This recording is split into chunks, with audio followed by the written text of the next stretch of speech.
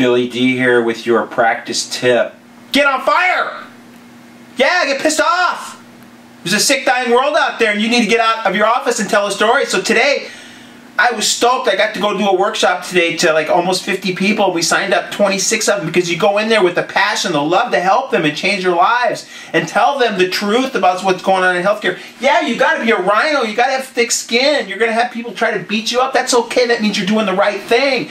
But I'm just trying to encourage you to get out. I mean, some doctors say they don't need to do that stuff. It's not what you need, man. It's, the world needs to hear the message. And I think the more that we get out of our offices and go tell the story and, you know, go to companies and go to health food stores and go to the YMCA and go to churches and go to mothers groups, wherever, I want you to just get out and we got to change the way our communities think by educating them and have a little zeal and passion because that's what really gets people fired up and gets them to, and plus they won't fall asleep at your workshop. So, uh, and the way I do that is I just, like, I just got done going on Facebook and ranting about stuff that, see, you get people that are that follow you, that are on the mission with you, your peeps in your practice, and they start feeding you stuff and you start getting inundated with how the world and how people think, and you see that there needs to be this change that's created. So just go on, go on my Facebook page, uh, go to Mike Adams, go to uh, anywhere on the internet, you'll just see how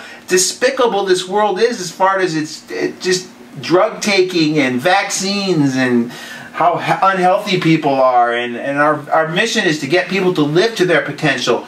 So I think I've ranted enough. The, the moral of the story is get on fire get passionate go tell the story. I mean you know what? The 26 new peeps that we signed up today or 25 or whatever it was it doesn't matter. That's not going to hurt my practice. And no they won't all probably become peeps in our practice. That's okay. We're going to kind of reel them in and we're going to sort through the, the people that are serious about their health and the, the people that aren't serious. That's okay too. We're not going to waste a lot of time on people that aren't serious yet. And we've got a way we do that now, which will come up in probably a future tip. Signing off, get on fire, tell the story, bring the peeps in, save the world. Love you all. God bless.